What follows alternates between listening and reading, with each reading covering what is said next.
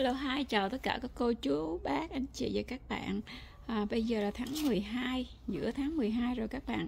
Thì à, mình khoe với mọi người một chút xíu về cái cây ổi nữ hoàng nhà mình nha các bạn. Đây là cây ổi nữ hoàng mình mua của em Tú. À, Lúc mà cây ổi này nó còn nhỏ xíu và trồng từ hạt các bạn. Thì mình trồng cũng được uh, chắc khoảng 2-3 năm gì rồi đó.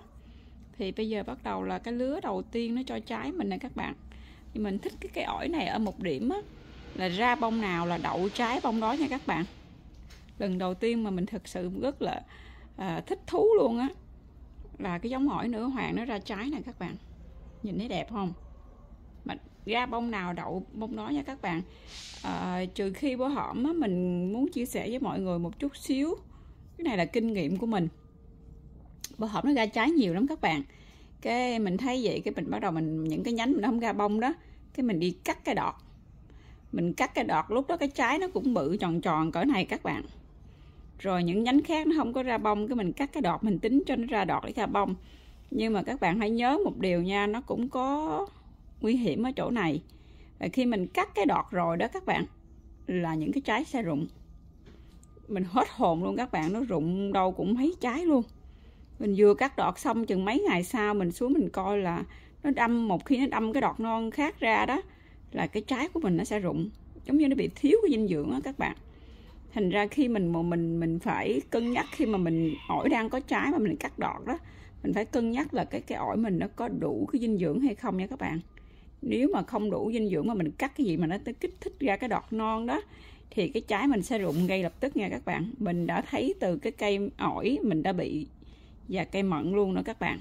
Thành ra các bạn nào mà um, muốn cắt đọt á, mà đang có trái mình cũng phải để ý nha.